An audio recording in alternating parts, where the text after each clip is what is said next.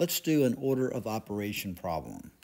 So 6 divided by 2, and then open parentheses, 1 plus 2, close parentheses.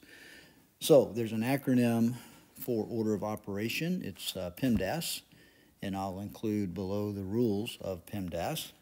And so for this problem, uh, we start with the P, which is anything in parentheses we need to resolve.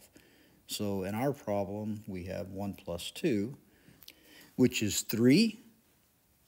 So let's rewrite our equation 6 divided by 2, open parentheses, 3, close parentheses. So the next letter in our acronym is E for exponents, but we do not have any in this problem. So the next order of operation is multiplication and division, which is worked from left to right. So let's rewrite our problem to make it more clear. 6 divided by 2 times 3. And so 6 divided by 2 from left to right gives us 3. And that 3 is multiplied by the remaining 3, which gives us 3 times 3, or 9, for our answer.